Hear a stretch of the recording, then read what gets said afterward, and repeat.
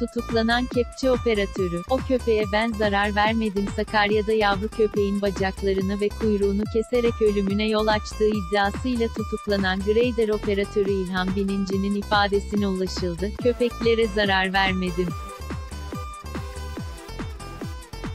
Suçsuzum, Sapanca'da yavru bir köpeğin ayakları ve kuyruğu kesilmiş halde bulunması Türkiye'de infial yarattı. Soruşturmanın ardından bölgede çalışmalarda bulunan bir kepçe operatörü tutuklandı. İçişleri Bakanı Süleyman Soylu, henüz basına vermediği görüntülerin olduğu, burada kepçenin köpeğin bacaklarını kestiğini söyledi ancak hayvan aktivistleri aynı fikirde değil. İddiaya göre bir kepçenin köpeğin ayaklarını bu şekilde kesebilmesi mümkün değil. Tutuklanan operatörün eşi de dün yaptığı açıklamada, bunu yapan cani kişinin hala dışarıda gezdiğini, söylerken eşinin tutuklanmasının sadece, Sakarya'nın adını temize çıkarma olduğunu belirtti. Hürriyet'ten İsmail Saymaz da tutuklanan operatörün ifadesine ulaştı. Çalışma bölgesinde çukurları dolduruyordum. 3-4 köpek gördüm. Ancak köpeklere zarar vermedim. Silindir kullanan iş arkadaşım ile kamyoncu arkadaş da vardı.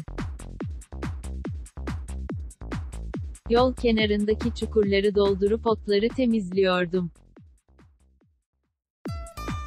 Suçsuzum, avukat, hayatın olağan akışına aykırı avukatı Handan Durdu ise, iş makinesinin olayı bir anda gerçekleştirdiğini düşünsek bile dört ayağı ve kuyruğunun kopması hayatın olağan akışına aykırıdır. Bu olayın başka şahıslar tarafından vahşice kesilmek suretiyle meydana geldiğini düşünmekteyiz, dedi.